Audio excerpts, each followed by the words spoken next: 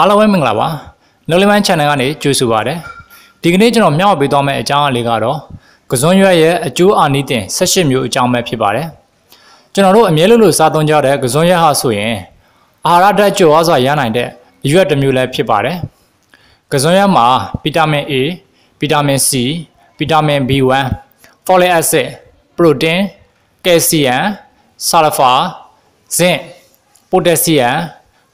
် ဆီယမ်ဆာလဖာဇင့်ပိုတက်ဆီယမ်ကယ်ရိုတင်းဖော့စဖရတ်အိုင်အိုဒင်းနဲ့တန်တက်တို့ပါတဲ့အပြင်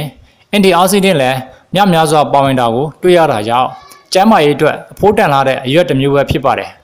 ။ဒါဆိုရင်ကစွန်းရရဲ့အကျိုးအာနိသင်တွေကဘာတွေဖြစ်မလဲ။ကျန်းမာရေးအတွက်ဘလို့ထောက်ကူပြုလဲဆိုတာကျွန်တော်တို့လေ့လာကြည့်လိုက်အောင်။နံပါတ်1ဝမ်းမန်စီခြင်းကစွန်းရမှာအမြင့်တက်များစွာပါဝင်တာကြောင့်အစာချေစနစ်ကိုကောင်းမွန်စေတဲ့အပြင် အစာရည်နဲ့ဥလန်းချောင်းလှုပ်ရှားမှုကိုကောင်းမွန်စေပြီးဝမ်းမမှန်သွားစေပါတယ်။ဝမ်းချုပ်တဲ့အခါမှာကစွန်းရဲကိုကြော်စားတာနဲ့ရီလုံပြုတ်စားတာမျိုးပြုလုပ်ပြီးရင်ဝမ်းချုပ်ခြင်းကိုတတ်တာပြောက်ကင်းစေတယ်လို့သိရှိရပါတယ်။နံပါတ်2နှင်းချိုက်စွာအိပ်ပျော်စေခြင်းကစွန်းရဲဟာအိပ်ဆက်မှုကိုလှုပ်ဆော်ပေးနိုင်တာကြောင့်နှင်းနှင်းချိုက်ချိုက်အိပ်မပျော်သူတွေနဲ့အိပ်မပျော်တဲ့ယောဂရှိသူတွေအတွက်ကစွန်းရဲဟာအိမ်သုံးတဘာဝဆေးဝါးတစ်မျိုးလိုအသုံးဝင်လာပါတယ်။ ကစွန်ရက်ဟာအချင်းကြကြအိပ်ပျော်စေတာမျိုးမဟုတ်ပဲအိပ်ဆက်မှုအရေးသွေးကိုပြွားစေတာကြောင့်အဲ့ရကနိုးထလာတဲ့အခါမှာလည်းလန်းလန်းဆန်းဆန်းဖြစ်စေနိုင်ပါတယ်နံပါတ်3ကိုလေးချိန်ရော့ကြစေခြင်းကစွန်ရက်ကိုဝမ်းနှုတ်စေတန်ချစေအဖြစ်ကျမ်းမာရေးဆိုင်ရာကျွမ်းကျင်သူတွေကယုံကြည်ကြသလိုကိုလေးချိန်ရှော့ချလို့သူတွေအတွက်လည်းအထူးသစ်တော်တဲ့အစားအစာတစ်မျိုးလည်းဖြစ်ပါတယ်ကစွန်ရက်ဟာဝမ်းချုပ်တာ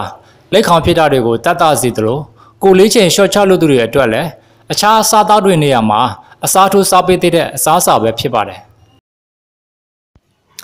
နံပါတ်၄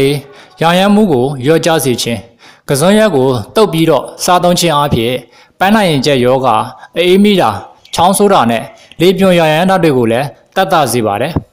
ကစွန်းရက်မှာအမိုင်နိုအက်ဆစ်အများအပြားပါဝင်တာကြောင့်ရောင်ရမ်းမှုကိုရော့ကျစေနိုင်ပါတယ်နံပါတ်5 သွေးတိုးစီးကျိုသွေးကြိုယောဂကိုကာကွယ်ပေးခြင်းကစွန်ရက်ဟာသွေးကြောထက်ကအဆီတွေကိုဖယ်ရှားပေးနိုင်တာကြောင့်သွေးဖိအားကိုရော့ကျစေပြီးသွေးတိုးကိုလည်းတတ်တာစေပါတယ်ဒါ့အပြင်ကစွန်ရက်မှာအမြင့်တက်များစွာပါဝင်တာကြောင့်စီးကျိုသွေးကြိုယောဂကိုကာကွယ်တဲ့အနေနဲ့သွေးရင်းတကြားတက်ကိုလည်းထိန်းချုပ်ပေးနိုင်စွမ်းရှိပါတယ်ကျွန်တော်ရဲ့ channel လေးကို subscribe မလုပ်ရသေးဘူးဆိုလို့ရှိရင် like and subscribe လေးလုပ်သွားပေးကြပါဦးနော်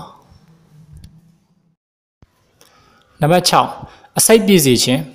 ကစွန်းရက်ကိုအစိတ်ပြည့်စေတဲ့ဆေးတစ်ခုလိုအသုံးပြုကြတာတွေ့ရပါတယ်ကစွန်းရက်မှာပါတဲ့ anti oxidant ဟာ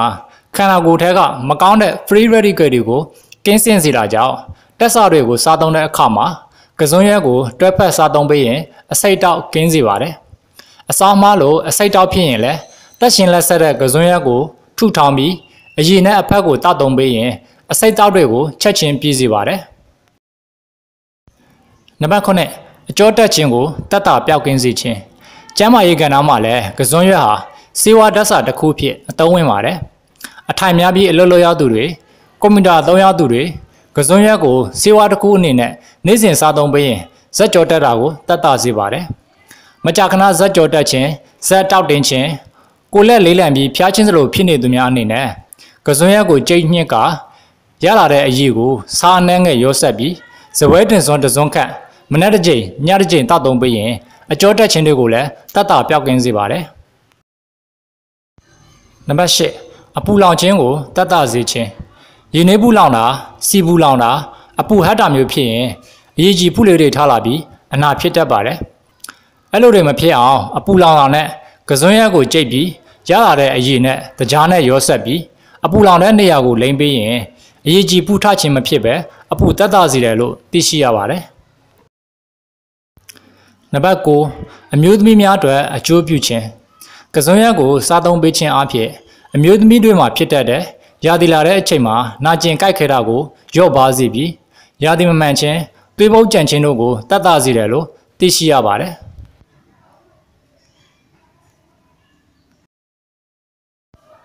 နံပါတ်10ခေါင်းကိုက်ခြင်းသွားကိုက်ခြင်းကိုတတ်တာစေခြင်းကစွန်ရက်မှာပါဝင်တဲ့အာဟာရဓာတ်တွေဟာဆိုရင် ခေါင်းကိုက်ခြင်း၊သွားကိုက်ခြင်း၊အတန်ဝင်ခြင်းနဲ့အတန်ပြက်ခြင်းတွေအတွက်လည်းတတ်တာစေတယ်လို့ဆိုပါတယ်။နံပါတ်7အသေးအတွက်ကောင်းကျိုးပြုခြင်းကစွန်ရက်မှာပါဝင်တဲ့ဓာတ်တိုဆက်ကျင်အာနိသင်တွေဟာအသေးကိုအစိတ်တောက်ကင်းစင်စေဖို့နဲ့အသေးနဲ့ပတ်သက်တဲ့ပြဿနာတွေကိုပြင်လည်ကုစားရမှာအထောက်အကူပေးပါတယ်။နံပါတ်7နဲ့သွေးရနယ်ယောဂကိုကာကွယ်ပေးခြင်း တန်တဲ့လုံလုံလောက်လောက်ရရှိမဲ့ဆိုရင်သွေးရနယ်ယောဂတွေမဖြစ်စေနိုင်ပါဘူး။အမျိုးသမီးတွေမှာကိုယ်ဝန်ဆောင်ချိန်မှာဆိုတန်တဲ့ကိုပိုပြီးရေးတကြီးလိုအပ်ပါတယ်။တန်တဲ့ပြီးွားနေမဲ့ဆိုရင်သွေးနူဆဲတွေဖြစ်ပေါ်မှုကိုအားပေးပြီးသွေးရကောင်းစေမှာပါ။ကစွန်းရနုနုလေးတွေဟာသွေးရနဲသူတွေအတွက်အကောင်းဆုံးဓာတ်စာတစ်မျိုးပဲဖြစ်ပါတယ်။နံပါတ်73မျက်စိအားကောင်းစေခြင်းကစွန်းရက်မှာမျက်စိကျန်းမာရေးအတွက်အဓိကအရေးပါတဲ့ ဗီတာမင် A နဲ့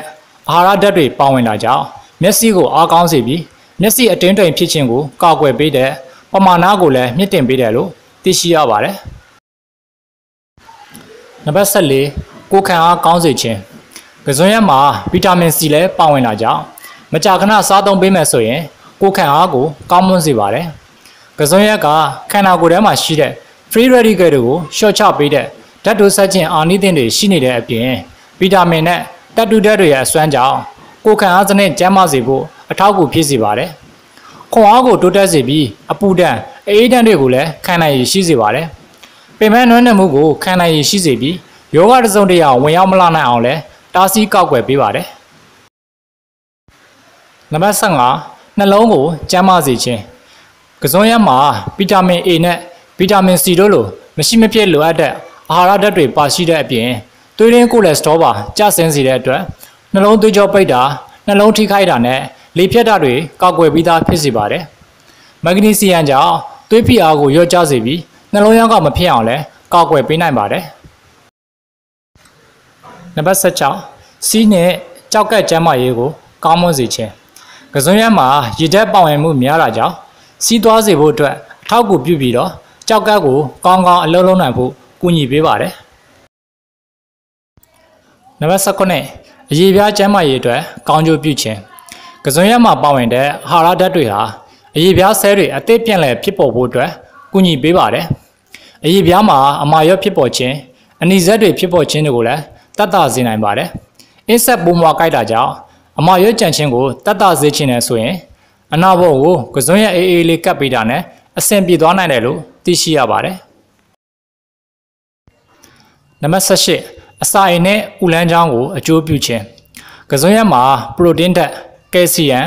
ကာရိုတင်းဓာတ်တွေများစွာပါဝင်ပြီးအမြင့်ဓာတ်တွေလည်းပါဝင်တာကြောင့်အစာအိမ်နဲ့ဥလန်းချောင်းလှုပ်ရှားမှုကိုကောင်းစွာအလုပ်လုပ်စေပါတယ်ဝမ်းချုပ်ခြင်းအစာမလို့ဝမ်းပိုက်မအီမတာဖြစ်ခြင်းအစာသားပြက်ခြင်းနဲ့ဥလန်းချောင်းမကောင်းလို့ဖြစ်စေတတ်တဲ့ဝမ်းကိုက်ခြင်းသွေးဝမ်းသွားခြင်းတို့ကိုကောင်းမွန်စေပါတယ်ဥထဲကအက်ဆစ်ဂုံတက်တိကိုရော့ကျစေပြီးလက်ခေါင်ယောဂအပြင်ဥလန်းချောင်းကင်းစာမဖြစ်အောင်လဲ ကောက်ွယ်ပေးပါတယ်လို့သိရှိရပါတယ်ဒီကနေ့ကျွန်တော်မျှဝေပေးသွားတာကတော့ကစွန်ရရဲ့အကျိုးအာနိသင်18မျိုးအကြောင်းပဲဖြစ်ပါတယ်နောက်ထပ်ဗီဒီယိုအသစ်အသစ်တွေကိုလည်းထပ်မံကြည့်ရှုအားပေးကြပါအောင်လို့တောင်းဆိုပါတယ်အားလုံးပဲစိတ်ချမ်းသာခြင်းကိုယ်ကြီးကျန်းမာခြင်းနဲ့ပြည့်စုံကြပါစေလို့ဆုတောင်းရင်းနဲ့ဒီဗီဒီယိုတွေကိုဒီမှာပဲဆုံးသတ်လိုက်ရပါတယ်